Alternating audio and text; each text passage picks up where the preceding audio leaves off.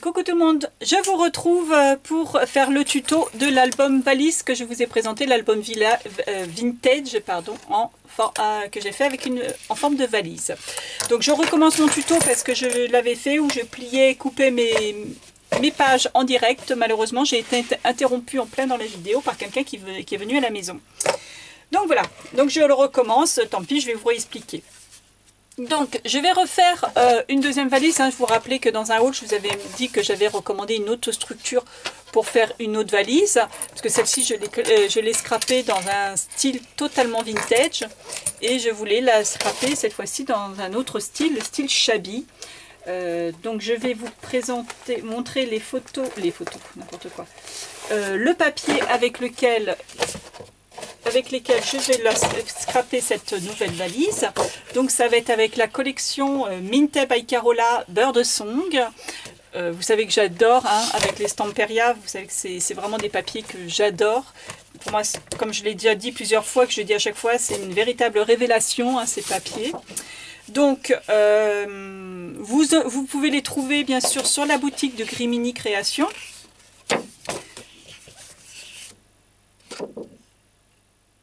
Excusez-moi, j'écoute parce que j'arrête pas d'entendre des bruits bizarres depuis tout à l'heure. Ça va être le chat qui fait l'andouille. Voilà, donc chaque paquet, bien sûr, vous avez deux pages recto verso. Donc euh, comme ça, pas à choisir. C'est vrai que par rapport à Stamperia, c'est mieux parce que Stamperia, bah, vous êtes obligé de choisir euh, une face ou une autre, ou alors avoir deux collections, enfin deux collections identiques. Voilà. Donc je vais les scraper de façon shabby. Je vais la scraper de façon shabby. Alors, euh, pour faire les pages, on va tirer des traits, on va faire des plis. Sur ma précédente vidéo, euh, sur ma le tuto euh, reliure que je vous ai fait sur les reliures, reliures accordéon. Donc ce n'est pas une reliure accordéon qu'on va faire aujourd'hui, ça va être beaucoup plus simple, vous allez voir mettre un peu de lumière. Hop là. Donc on m'a demandé avec quoi je faisais des plis et euh, si j'avais euh, un conseil sur une table, euh, enfin sur une plaque de, pour faire des pliages. Donc moi je disais que j'avais celle-ci, hein, j'avais rajouté, rajouté la plaque pour avoir les centimètres parce que celle-là c'est en inch. franchement celle-ci je m'en sers jamais. Je trouve ça pas pratique du tout puisque vous avez vous avez pas des traits toutes les 5 mm déjà. Hein, vous avez, euh, des fois c'est toutes les 1. Je ne sais pas à quoi ça, peut correspondre, ce genre de choses. Enfin, je trouve ça pas pratique du tout. Moi, mes, euh, mes plis, je les tire tout simplement au massicot, hein, puisque sur, mon massicot, comme sur beaucoup de massicots, vous avez un petit curseur euh, pli et un curseur coupe. Donc moi, je l'ai fait avec mon curseur, c'est beaucoup plus simple. Et puis là, vous pouvez faire des, des mesures un petit peu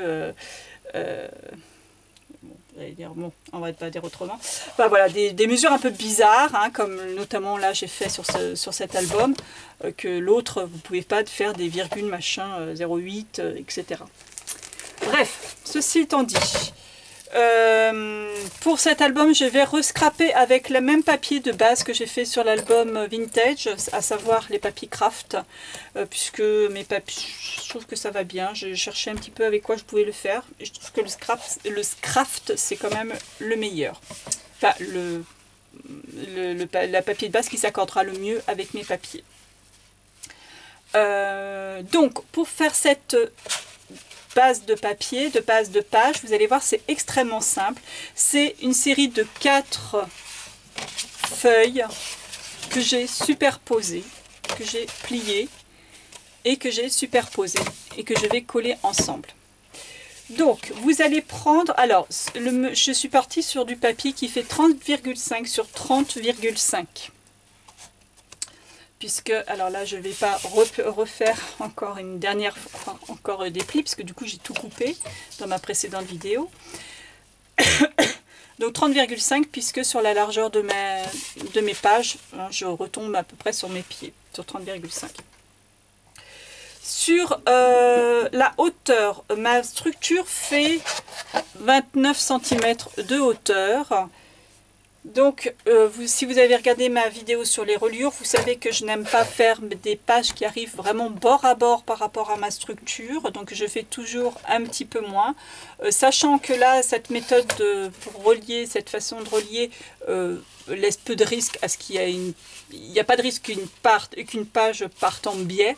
Donc j'ai vraiment laissé très très peu, juste histoire de dire que je laisse un millimètre. Mais, euh, et puis au cas où euh, la pliure de mon rabat prenne un petit peu plus de place. Enfin vraiment, là je suis partie sur un millimètre, enfin un millimètre de haut et en bas, donc 2 euh, mm en tout, en moins sur la hauteur de mes pages. Mais voilà, c'est vraiment histoire de... Hein. Donc, pour dire, vous avez votre page qui fait 30,5 sur 30,5.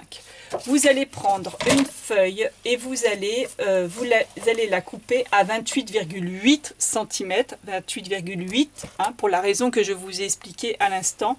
Pour correspondre, c'est ce qui va correspondre à la hauteur de mon album, la hauteur de ma page. Hein, mon album se présente comme ça, ça va être la hauteur, 28, comme ça, c'est la hauteur. Donc 28,8. Une fois que vous avez coupé, votre feuille, vous faites faire un quart de tour à votre page.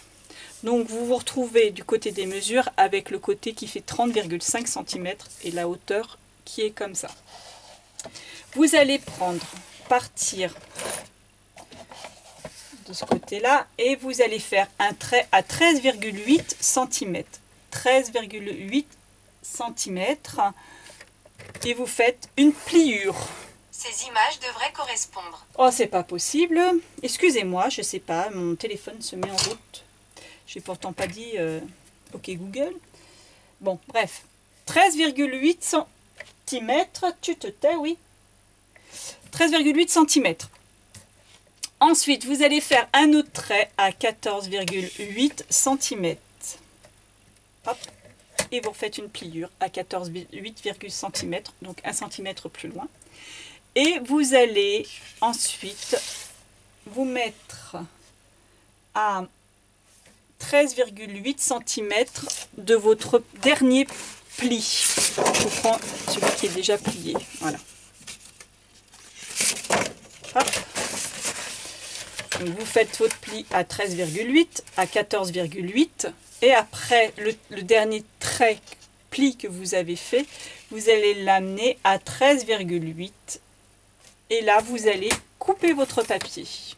Ce qui fait que vous allez avoir quelque chose qui se présente comme ça, avec 13,8 cm de ce côté-là, 13,8 cm de ce côté-là, et 1 cm entre les deux. Ça, vous allez le faire deux fois. Deux fois, de façon identique. Une fois que vous avez fait deux fois, vous allez prendre votre deuxième, enfin un troisième papier, du moins, vous allez encore une fois le couper à 28,8 cm de enfin 28,8 cm d'un côté. Vous faites encore un quart de tour et vous allez faire un pli encore une fois à 13,8 cm. Donc vous aurez compris que mes pages vont faire 13,8 cm. Donc un pli à 13,8 cm, un pli à 16,8 cm.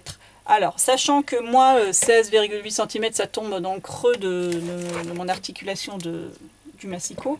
Donc, euh, je vais 13,8 pour aller à 16,8, c'est 3 cm plus loin. Donc, je prends mon pli, je l'amène à 3 cm et je refais encore un autre pli. Et là, pas besoin de recouper ensuite, puisque ça vous donne exactement le pli, le, ça vous donne la largeur de votre papier, 30,5. Voilà, voilà. Et ça, vous allez le faire encore une fois deux, enfin encore une fois deux fois. Vous allez le faire deux fois. Donc vous allez vous retrouver avec quatre papiers, dont deux coupés, euh, pliés, coupés et pliés d'une certaine façon, et deux autres d'une autre, euh, de la même façon aussi. Mes pages de l'album sont faites euh, on peut presque dire que la reliure est faite. Ensuite, vous allez mettre face à face les deux feuilles où vous avez une grande tranche. Vous allez pouvoir coller ces deux tranches. Vous en collez là et vous pouvez coller là. Une fois que c'est collé, vous avez la première page de votre album ou et les dernières pages de votre album. Attendez un petit peu, une petite précision pour l'autre album, pour l'album vintage. Euh, sachant que c'est quand je vous dis vous coller, soit vous collez tout de suite, soit vous collez à la fin, euh, sachant qu'il est toujours préférable et plus pratique de euh, faire page par page et puis après coller au dernier moment une fois que les pages sont finies c'est quand même plus pratique si vous voulez tamponner si vous voulez vraiment être travaillé à plat hein, puisque si vous scrapez cette page là automatiquement quand vous allez euh, scraper cette page-ci, eh ben vous, aurez l'épaisseur de l'autre en dessous. Donc si vous n'êtes pas collé, vous pouvez travailler à plat. Question pratique. Hein. Voilà, donc une fois que vous aurez fini décorer vos pages, vous collez les deux tranches l'une avec l'autre. Pareil de, pour, ce, pour celui-ci. Vous allez coller la petite tranche, enfin en coller la petite partie des 1 cm entre les deux plis et vous collez l'autre par-dessus et ça vous fait votre page, vos deux pages centrales de l'album. Une fois que tout sera fini, vous n'aurez plus qu'à encoller cette partie-là des 1 cm et venir la coller après prise de repère au milieu de la grande, là, des, deux, des deux traits. Ça fait 3 cm, hein, vous laissez 1 cm de chaque côté, vous faites un repère et vous collez votre tranche, enfin celle-ci là, au milieu. Et votre album est relié.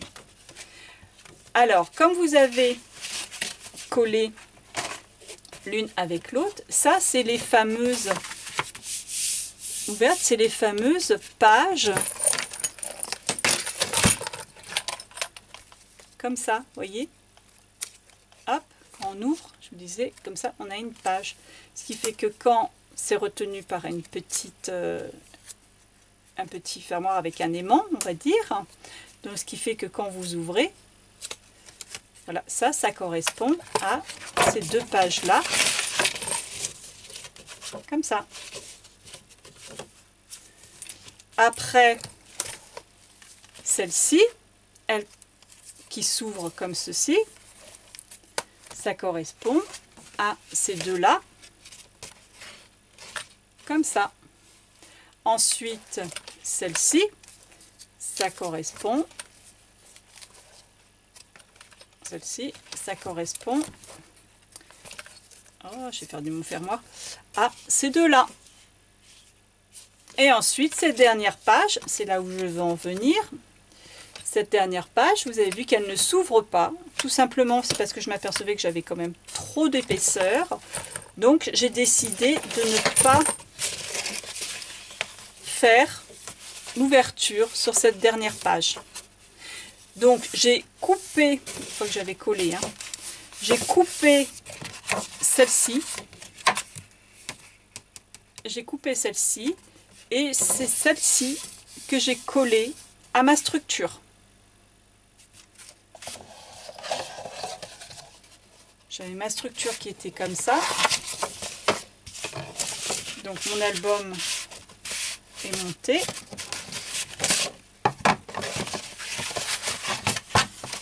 Donc j'ai enlevé celle-ci parce qu'elle s'ouvre pas. Et j'ai collé ma dernière page à ma structure. Voilà. Et mon album est comme ça. Alors là, je l'ai fait parce que je ne sais pas. Je vais voir si je vais réussir à, le, à le faire tenir dans la hauteur. Parce que là, c'est vrai que j'avais fait quand même mis pas mal de dentelles, des, vraiment des, épaisseurs au niveau de la déco. Peut-être que là, je vais en avoir un petit peu moins, donc j'attends de voir. Hein, ça va se faire. Euh, je, monte mes pages, hein, il suffit que je les présente après dans mon album. Et je vois si mon album ferme. Hein. C'est vrai que là, quand on regarde, euh, l'album, il, il y a de la marge. Et pourtant, une fois décoré, ça prend plus de place. Voilà pour les, euh, pour les pages. Après, pour consolider sur cet album, euh, enfin pour consolider la, la sur cet album, sur l'autre album, j'avais mis des attaches parisiennes. J'ai mis quatre attaches parisiennes là, que j'ai fait ressortir au milieu de, mon album. Et puis, j'ai pour camoufler évidemment euh, l'arrière de mes attaches, hein, j'ai collé une bande de papier hein, pour camoufler. Voilà. Ensuite, les pages euh, en elles-mêmes sont très simples dessus des pages. Hein. c'est juste un petit rabat, hein, comme on fait souvent. Donc là, je ne vais pas vous faire peut-être un tuto, puisqu'on peut, c'est vraiment, j'ai adapté mes, rabats en fonction de mon dice de découpe que vous n'avez pas forcément. Mais, euh, et puis en fonction de, la déco que j'allais mettre. Euh, voilà, c'est juste un rabat que j'ai mis, que j'ai collé avant de coller mon papier décor, comme à peu près tous les albums que j'ai fait. Hein. Voilà, c'est simple, c'est un petit rabat en hauteur. Bon, pour savoir la taille des rabats, euh, la plupart du temps, je les ai fait de la largeur de ma page. Et ben voilà, j'ai fait euh, pour je, disposais ma photo comme je voulais et je faisais un papier. Enfin, un, voilà, je, je prenais un papier je, de la largeur de ma page, je faisais mon dice de découpe pour savoir exactement comment il est, la, largeur qu'il allait prendre. Puis après, je me disposais mon, papier dessus, par-dessus ma page de base, et puis je tirais un trait en haut, euh, voilà, pour déterminer la, hauteur. Voilà, donc là, j'ai fait euh, un petit rabat comme ça, et j'en ai rajouté un autre. Hein, comme, euh, comme d'habitude, ça, c'est vraiment des, des, rabats que je... Vous voyez, j'ai fait un petit rabat comme ça, de la taille pareille de ma photo. Et puis après, j'ai refait un autre petit rabat sur le premier j'ai collé. C'est vraiment les, rabats un peu, vraiment le, truc très classique que je fais d'habitude. Là, un rabat à droite, un rabat, un tout petit rabat à gauche. Et puis là, encore une fois, un rabat en haut. Hein, de même que le, deuxième que je vous ai montré. Là, j'ai fait un, rabat qui est comme ceci, mais avec le dies en bas, où j'ai fait le dies en bas. Mais sinon, c'est un rabat que j'ai collé à droite. Et puis là, j'ai collé juste des petits bouts de carton pour faire euh, des pochettes. Voilà, tout simplement. Donc ça, c'est pas très très compliqué. Hein. Les rabats, vous les adaptez vraiment à l'orientation de... Je les ai vraiment euh, fait en fonction de l'orientation de mes photos. Donc, il n'y a, pas de souci. Donc euh, avant bien sûr pour faire euh, ça, hein, ma petite, euh, pour donner toujours l'esprit valise, hein, je vous avez vu, je vous ai mis des, j'avais mis des bouts de dentelle. bien sûr, avant de coller votre structure, vous n'oubliez pas de coller votre dentelle en dessous. Hein, vous collez votre, votre dentelle sur votre structure. les quatre bouts de dentelle. C'est juste un bout de dentelle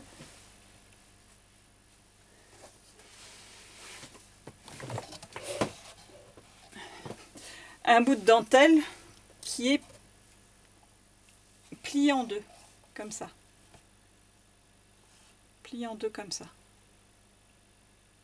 donc j'ai collé de cette partie-là, oui, collé cette partie-là, collé le bout de cette partie-là, fait pareil en bas, et puis j'ai cousu, parce que là, coller, autant vous dire que ça risquait de pas tenir, j'ai cousu un bout de... un bout, un fermoir. Donc voilà. Euh, pour la structure en elle-même, comment j'ai scrapé cette structure? J'ai pris du papier de soie. Ah, j'en ai pas là.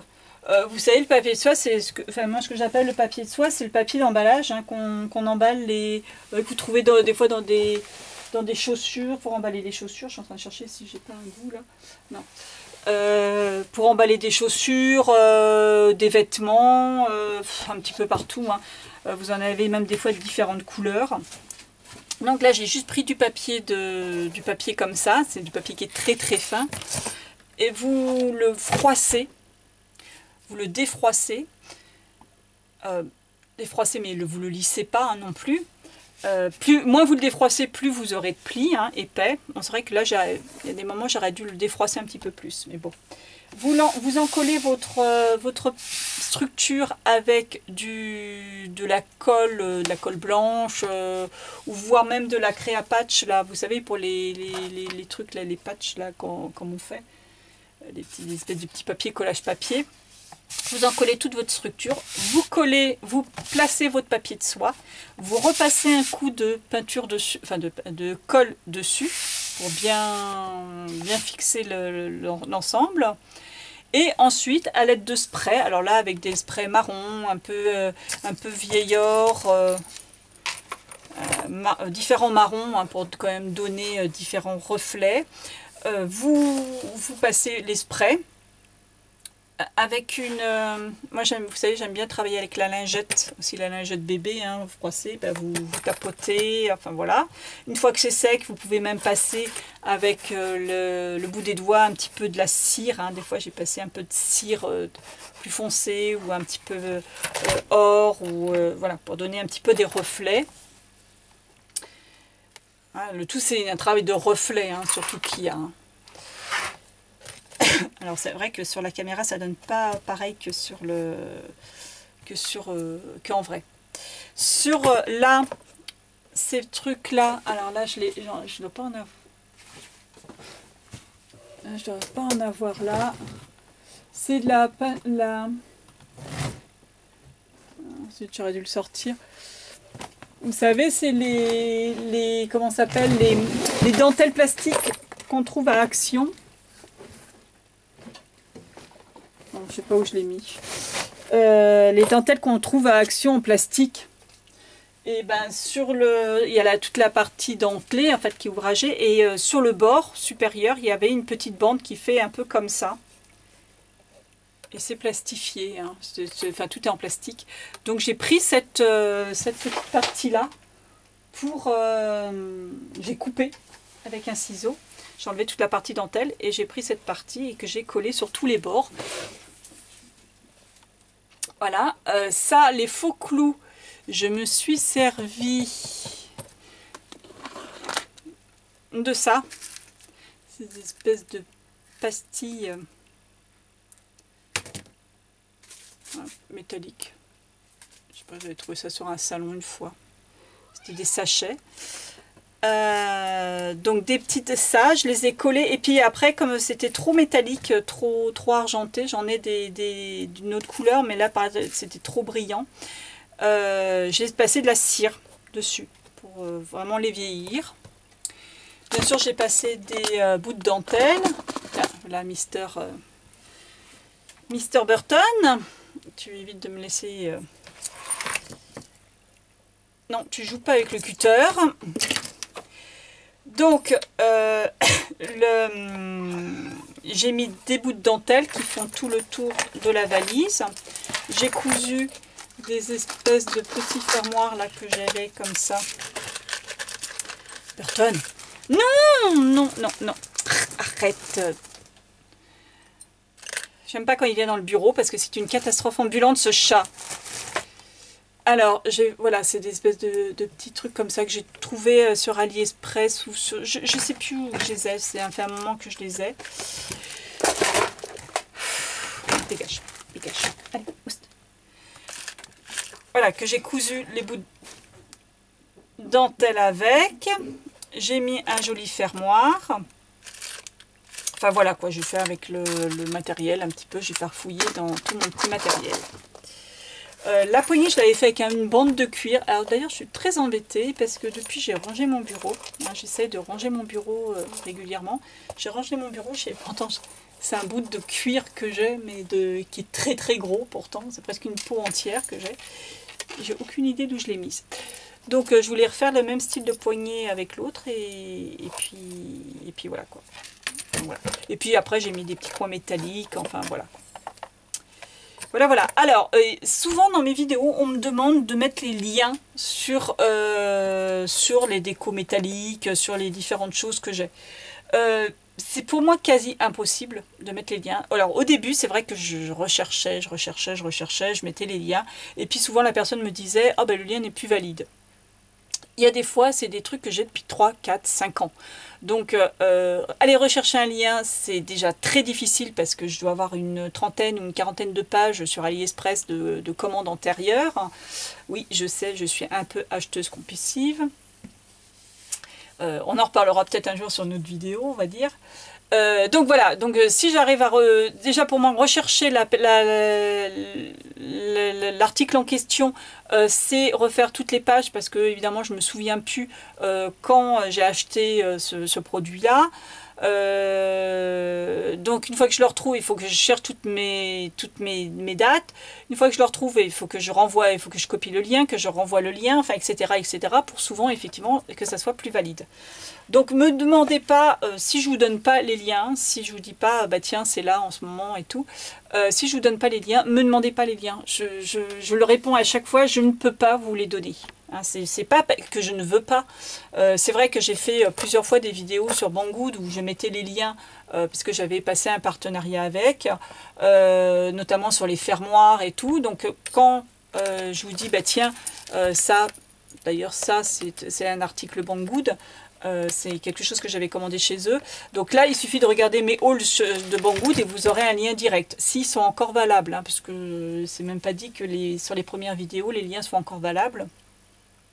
Donc si je vous dis pas, euh, c'est que je ne sais plus. Je ne sais plus. Et même des fois, il y a des fois j'achète sur les salons, des fois j'achète euh, sur des sites, par exemple sur des soldes ou des choses comme ça. Je, ne sais même plus où j'ai acheté les choses j'ai tendance à euh, emmagasiner, beaucoup. Voilà, j'ai des, petites, euh, des tiroirs pleins de petites babioles, de petites, euh, de petites choses.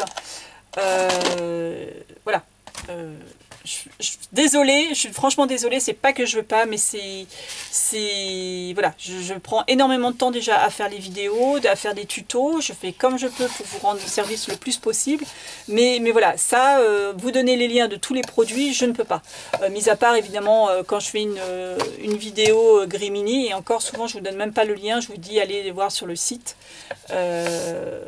pour, pour le trouver.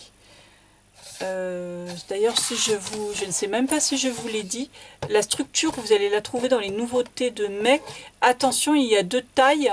Euh, c'est la, grande taille. Hein. moi, c'est la taille la plus grande, hein, celle-ci. Hein. Donc, toutes les mesures que je vous ai données sur les pages, euh, pour les pages, s'adaptent à la structure la plus grande. Voilà, voilà. Euh, je pense vous avoir tout dit pour cet album. Euh, je vous dis après, vous avez vu la conception des pages est très simple. Ensuite, c'est un gros travail au niveau des papiers, euh, au niveau du vieillissement des papiers. Je vous dis encore une fois, j'ai pris du craft ou j'ai pris du craft aussi que je vous montre. Hop. Hop, de ces blocs là. C'est les blocs qu'on a trouvés chez Action dernièrement. Ah, j'en avais pris plusieurs, d'ailleurs je le regrette pas. Euh, si j'en revois, j'en reprendrai parce que j'avais pris 1, 2, 3, 4, 5 blocs. 5 blocs et j'en ai utilisé déjà pas mal. Et là vous avez euh, du papier blanc qui est déjà pas mal je trouve. Je n'ai pas essayé de savoir s'il était aquarellable celui-là.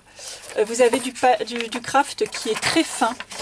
Et je me suis servi pas mal de ce craft très fin en le froissant Hein, et en l'ancrant après, en ancrant les bords et tout, ça fait vraiment du, papier euh, très... Euh, du papier vieilli. Et puis, euh, vous avez des pages comme ça, des, pages craft comme ça. J'ai d'ailleurs fait mes rabats avec, hein, de cet album. J'ai fait mes rabats avec ce, ce craft-là. Il est très très bien aussi se découpe bien. Et après, enfin moi c'était surtout pour ça que je l'ai pris, c'est parce qu'il y a du papier noir. Le papier noir pour moi euh, euh, c'est quelque chose que j'utilise beaucoup. Euh, là pareil, il y a du papier épais et il y a du papier un petit peu plus fin. Voilà, voilà.